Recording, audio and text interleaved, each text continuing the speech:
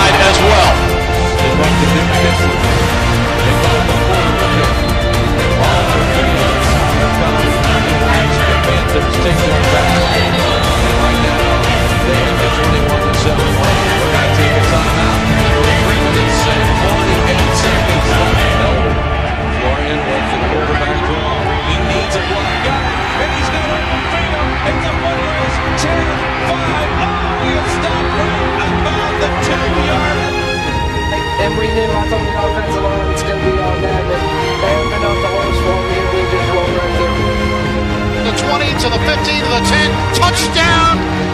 80 yards, Matthew Luby on the first play. I mean, yeah, it all starts up front with our offensive line, like I've been saying. I mean, it's nothing without them. I mean, we got guys blocking, we got guys blocking on the edge and running great routes, so it's easy for me to just do whatever, do my thing, kind of. Go for the throw,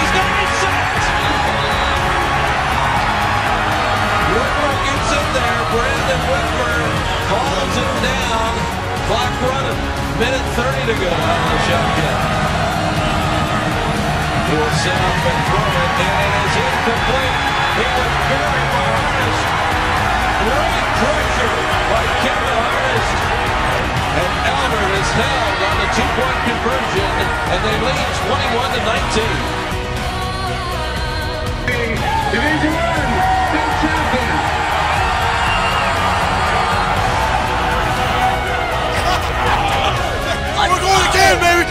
This dream. We're going to again. And if something's not going our way, we find, we always find a way. Keep our heads up. We keep trying to put that final work. I can't even put into words how special it is. It's just a group of guys that just love each other. It's special. I mean, it doesn't happen very often, and uh, we just got to take full uh, opportunity of this. This is unbelievable.